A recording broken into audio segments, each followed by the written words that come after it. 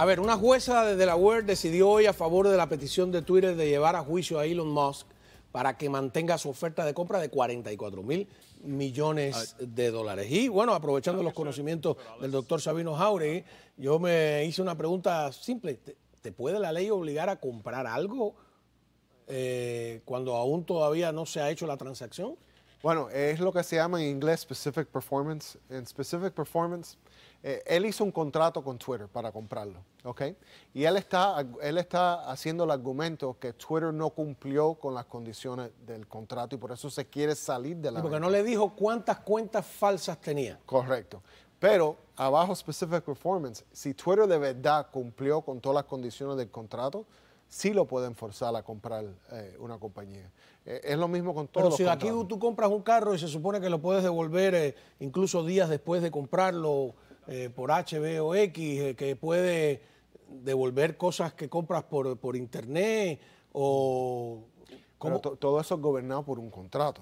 Tú cuando compraste algo por Amazon, tú no firmaste un contrato de que ibas a comprarlo de todas formas. Si vas a una tienda y vas a una tienda donde la tienda te dice un cartel enorme, no hay devolución, no se, te- no se te devuelve el dinero, no hay intercambio, cuando compraste el artículo hasta ahí, hasta ahí Sí. llegaste. ¿ok? Todo es parte de un contrato. Pero si Sí. todavía no lo he comprado. Bueno, si todavía no lo has comprado, no pasa O sea, nada. porque él hizo el contrato, pero debe haber un proceso porque todavía no se había hecho efectiva la compra. Sí, pero lo que está argumentando Twitter es que él está buscando una excusa para, sa- para salirse del contrato. qué está buscando una Bueno, excusa? porque Twitter ha bajado en valor un- una gran cantidad de billones de dólares. Entonces, él está usando esto como una táctica para renegociar el precio de Twitter. No fuera justo para Twitter tampoco. Si después que firma un contrato promete a comprar Twitter por 44 billones de pesos, después... porque- 44 mil millones. Ajá. y, y- y- y de pronto... Era baja, como 10 dólares más por encima del valor. del valor de, Twitter. Y al principio, acuérdate que Twitter no le quería vender a, Twitter no le quería vender a Elon Musk. Elon Musk hizo esa oferta súper agresiva.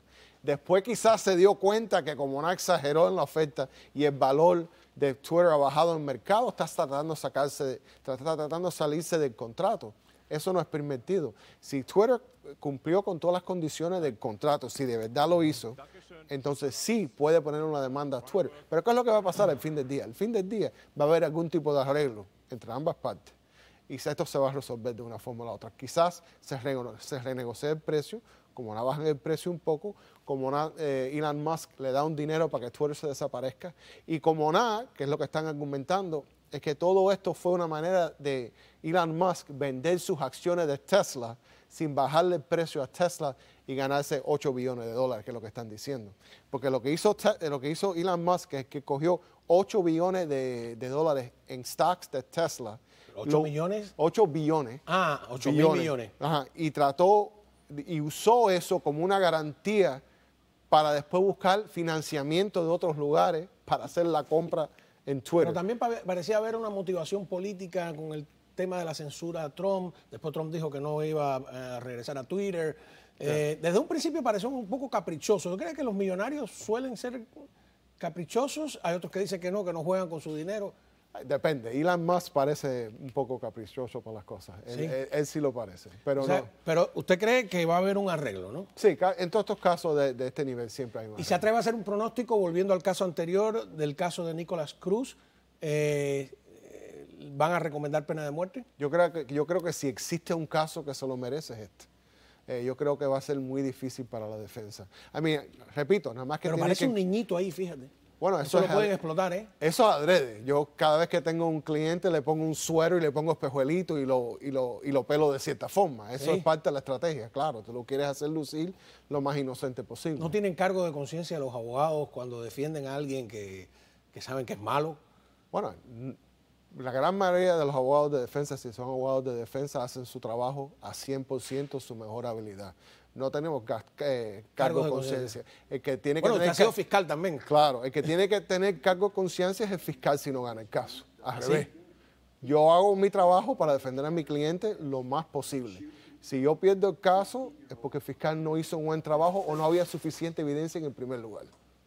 Bueno, y es preferible de todas maneras a, eh, eh, a lo que ocurre, por ejemplo, en las dictaduras como Cuba, donde en realidad el abogado no te defiende, ¿no? Seas culpable, seas inocente, el abogado está atado ahí porque es un empleado también del Estado. Eh, otro caso curioso, que y esto ya es eh, totalmente eh, especulando, porque revisé todas las, las, leyes en torno al caso de, que, se ha desatado en, Puerto Rico y que, ha creado toda una conmoción, que es un caso de incesto. ¿no? y antes de entrar ahí, lo que encontré fue que el incesto no es igual, incesto que es eh, la relación filial entre familiares, no es igual en todos los estados.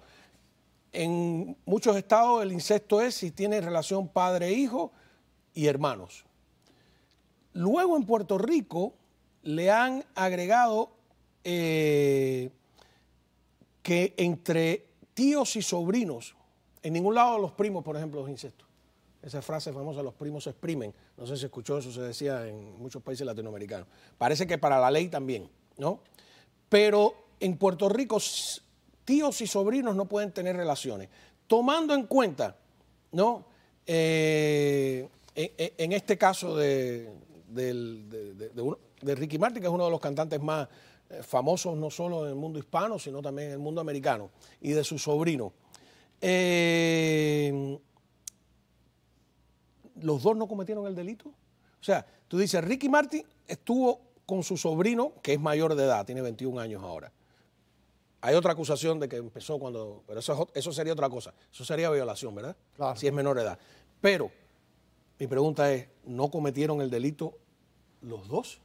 ¿No iría porque el padre del muchacho está, no ha pensado que podría ir su hijo a la cárcel porque también cometió incesto? Si fueron los dos adultos, eh, cuando tuvieron relaciones sexuales, los dos eh, tienen peligro de ser acusados criminalmente. El incesto es un caso muy extraño, muy raro en la, en la, ley americana. Normalmente nada más que se acusa a alguien de incesto cuando están teniendo eh, relaciones sexuales con un menor. Usan el incesto como un agravante para subir la sentencia, algunas veces doble y triple, que lo que pueden recibir. Como adultos es un delito muy raro, es un delito que normalmente cuando se hace entre dos adultos con consentimiento... Aunque sean familiares. Aunque sean familiares, la policía no lo va a saber, nadie, nadie los va a reportar a la policía, eso es algo privado entre los dos adultos. Eh, es muy raro que un caso entre dos adultos vaya a un tribunal criminal. Con menores es muy común, porque, hay, por ejemplo, yo he defendido muchos casos donde, donde es un padre biológico eh, o un, un stepfather, un padrastro. Eh, que tiene relaciones sexuales. Así, ah, porque también dice la ley que no puede, aunque el, hijo sea adoptado, no puede tener. Correcto. Es el caso de Woody Allen, que lo acusan de, incesto porque estuvo se casó con hijastra. Correcto. Yo tengo muchos casos de eso, de, padrastros. Así. Ah, eh, donde, donde eso pasa. Y es. Aquí en la Florida, por ejemplo, es cualquier persona en una, en una situación de indefensión, ¿no? No, de desventaja. Familia custodia, de, custodia ah, ah, familiar. custodia familiar. Así que puede ser hasta un tío en una, cosa familiar, eh, un, puede ser un primo, puede ser un padrastro. Si es menor. Si es menor. Y entonces Pero nunca ha tenido un caso de dos mayores. De dos mayores nunca hemos tenido. Es algo muy raro, eh, algo que, casi nunca se ve.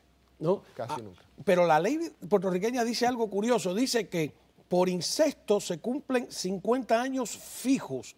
Es decir, cuando te dicen fijo, supongo que es que ni uno menos ni uno más. ¿Es común también eso? Tampoco es común normalmente el incesto entre adultos en otros estados. Estamos hablando de una felonía de tercer grado que viene siendo una sentencia máxima de cinco años. Y cuando te digo una máxima sentencia de cinco años, quiere decir que casi nadie coge cinco años. Eh, cogen muchísimo menos que eso. Porque yo lo que pensé, digo, cuando el padre del muchacho se dé cuenta porque, porque creo que hay grabas, eh, le hicieron una trampa, una trampa válida, ¿no? A, Ricky Martin de, llamadas telefónicas, te extraño, mensajes de texto, etcétera.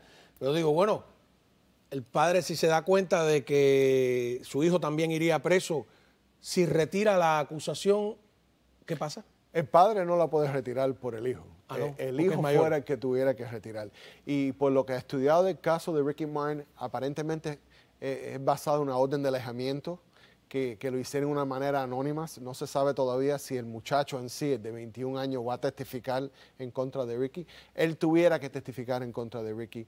Él tuviera que ir a la corte, tuviera que decir que fue abusado como niño para esto poder proceder en, una en un tribunal penal. Y si La acusación se desvía de incesto a que empezó la relación cuando el, muchacho era menor de edad. Ahí se enreda la Ahí se enreda la cosa bastante para Ricky Martin. Ahí sí es un delito bien serio.